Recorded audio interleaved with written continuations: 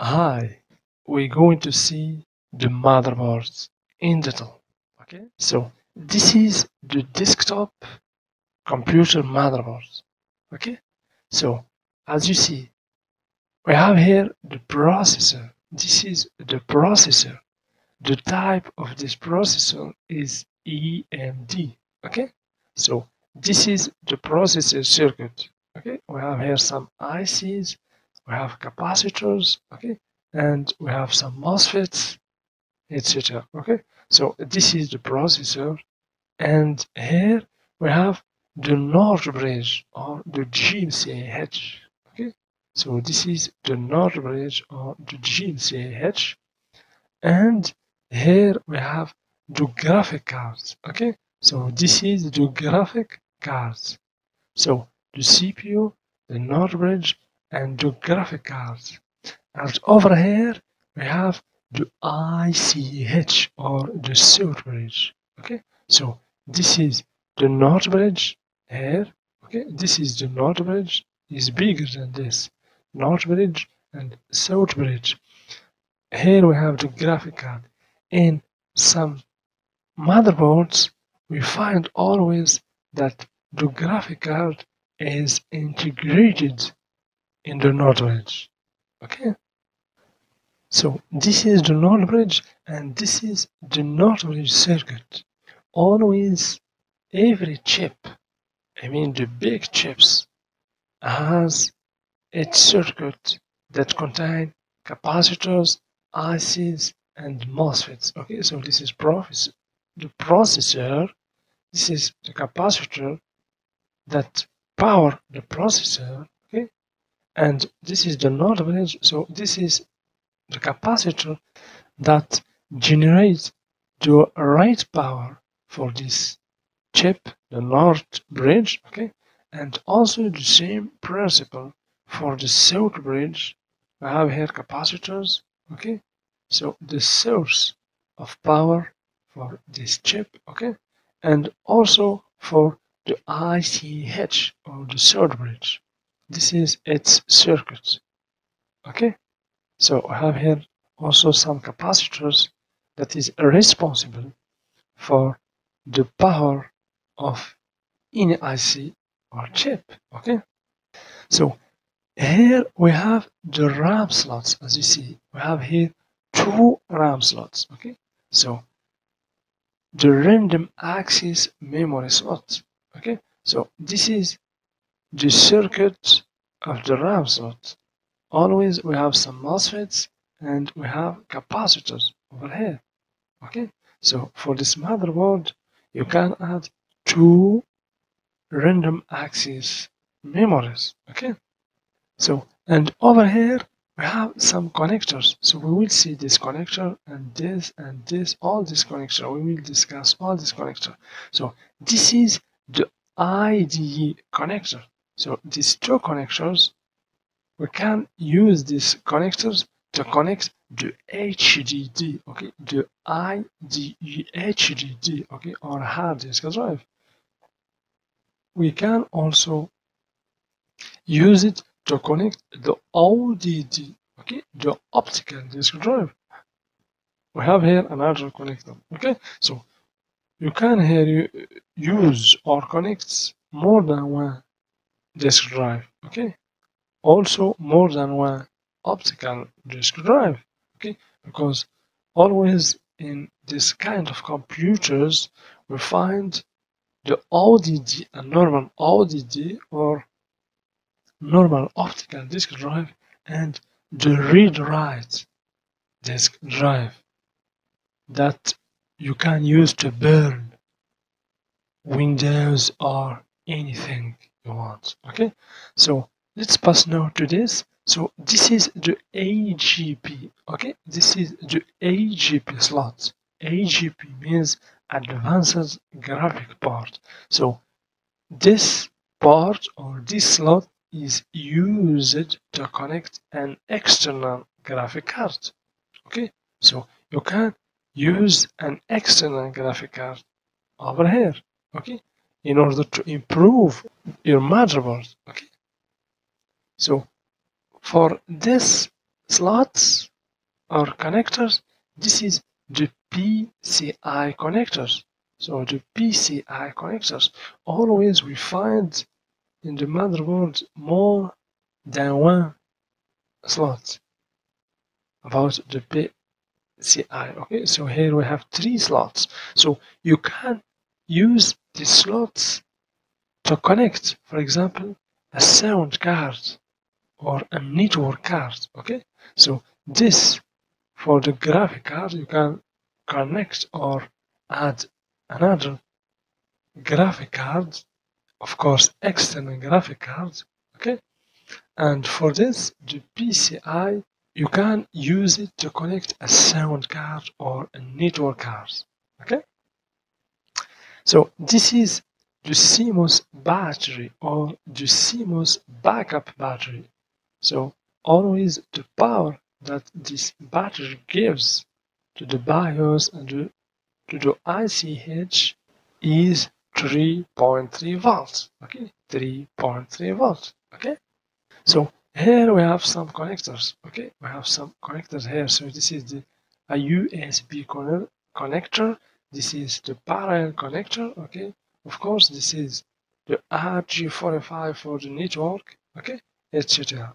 So here this is the power connectors. So this one is the ATX connector. So the power for the motherboard is from here. So this is just a jack. Okay, so we connect.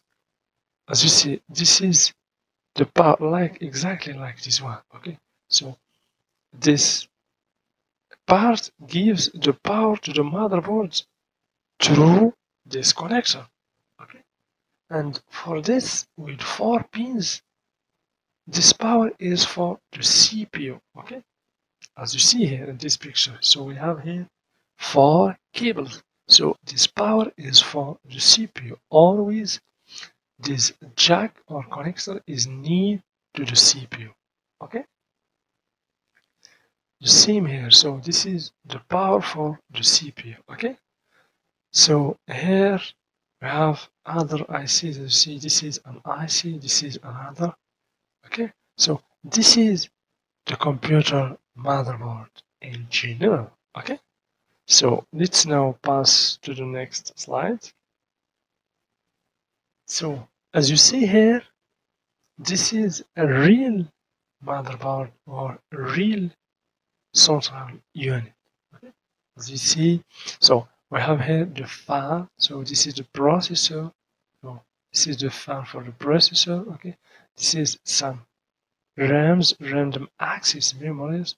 Okay, so this is the cables. So this is the power, as you see, the power for the CPU, the four pins. Okay, exactly like here. Okay, this is the power for the CPU. Okay. So the power for the CPU, okay, as you see, and here this is the power, the other connector. So that power the whole motherboard, okay? So let's pass to another slide. So here, this is another kind of motherboard, as you see. So we have here the CPU, as you see. This is the CPU socket.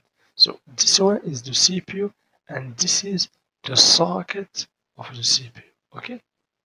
And this is the CPU support, okay? as you see, this is the CPU support. So you can use this support to remove or to install the central processing unit, okay? So central processing unit means the processor okay so here, as you see, this is the RAM. Okay, this is a DDR4 RAM. Okay, because for the RAM we have about more than four types, but we have the DDR4. This is the advanced RAM. Okay, DDR4. So the power of this RAM is 1.1 volts. Okay, and we have DDR3 with the power of 1.5 volts okay and we have DDR2 its power is 1.8 volt and DDR1 the power is 2.5 volts okay so this is the CPU and this is the CPU socket. This is the CPU support that we use to remove or to install the CPU so this is the RAM the RAM slot over here and this is the RAM chip okay? Two RAM chip okay? So here we have the NOR bridge. So here the NOR bridge or the graphic card is integrated with the NOR because we have just one chip here and also the ICH is integrated with the NOR okay? Because here in this motherboard we have just two big chip. We have the processor and we have this chip. So this chip contain the NOR bridge the ICH or the SOT bridge and the graphic okay? So here this is the CPU circuit as you see here. So we have capacitors always in every circuit we find capacitors. As you see we have here capacitors and capacitors. We have coils all these are coils and also these are coils. So why we have many coils and many capacitors in the CPU circuit because the CPU has many channels okay? Many power channel not just one channel no many channel because it require more power. Here the working principle for the CPU is the SMPS so the switching mode power supply okay? So we have here capacitors, coils, we have also a capacitor, coils, and we have here MOSFETs, okay? We have MOSFETs, as you see, we have three MOSFETs, as you see, we have three MOSFETs with one coil, with one capacitor, so this is one channel, and we have three MOSFET, coil, capacitor, another channel, three MOSFET, coil, capacitor, the third channel. This is the fourth channel, three MOSFET, coil and capacitor. Okay, so here the same principle. So we have coil, two capacitor, and of course MOSFET over here, and coil or inductor. So the coil means inductor. Okay, the same thing, coil or inductor. So this is the CPU, this is the CPU socket, this is the CPU channels or power source okay? So here we have the NOR bridge ICH and graphic card all in one chip. Okay? So we have here another component of course and this is the CMOS battery as you see here and this is the RAM okay? The random access memory. So this is the DDR4 RAM okay? So let's pass to the next slide so here we have another motherboard. This is an old motherboard, okay? This is the CPU socket. As you see here, we don't have here any CPU. So this is the socket of the CPU. And this is the CPU socket support that we use to install and to remove the CPU okay so this is the NOR bridge over here okay this is the NOR bridge or the GMCH so this is the NOR bridge heatsink. Okay, this is the heatsink that dissipates the heat. Okay, this is the heatsink of the NOR bridge. So the NOR bridge or the GMCH is under this heatsink. Okay, so this is the RAM slots as you see here with yellow car okay? So this is ram slots okay? And this is the capacitors that power these ram slots okay? So we have here capacitor of course. This is chemical capacitors okay? This is MOSFET. Also this is John MOSFET okay? So the same here. This is the CPU socket and this is the capacitors that power the CPU socket okay And here, as you see, we have the CMOS battery. As you see, we have here 3 volt. Okay, 3 volt. And this connector is for the HDD or hard disk drive. This is IDE connectors. Okay, so let's pass to the next slide. Here we have some connectors. This con three connectors is for the speaker, mic, okay, the speaker and mic. Okay, so these three connectors. So this is the RJ45, okay, the RJ45 connector. So this connector is used for the network services, okay. So here we have USB connectors. Also, this is a USB connectors. Why we have here a blue color? This blue color means that this USB connectors is a 3.0 type. Okay. Of course, we have other connectors and other ports like HDMI. We have also other kind of USB connector